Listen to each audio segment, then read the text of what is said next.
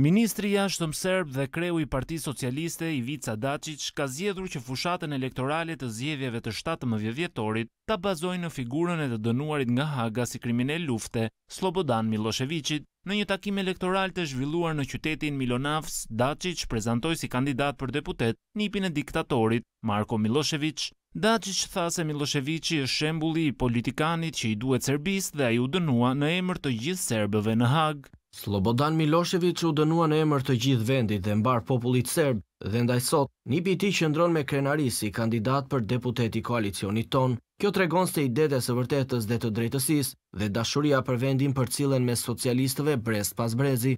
Daçiç drejton Partinë Socialiste e cila solli në pushtet Millosheviçin e cila asnjëherë nuk ka dënuar krimet kundër shqiptarëve të Kosovës, kroatëve dhe boshnjakëve gjatë viteve nëntëdhjetë. Në këtë fushatë elektorale, Daçiç që ka mbajtur për shumë vite postin e zëvendës kryeministrit dhe ministrit të jashtëm, synon të zgjidhet kryeministër.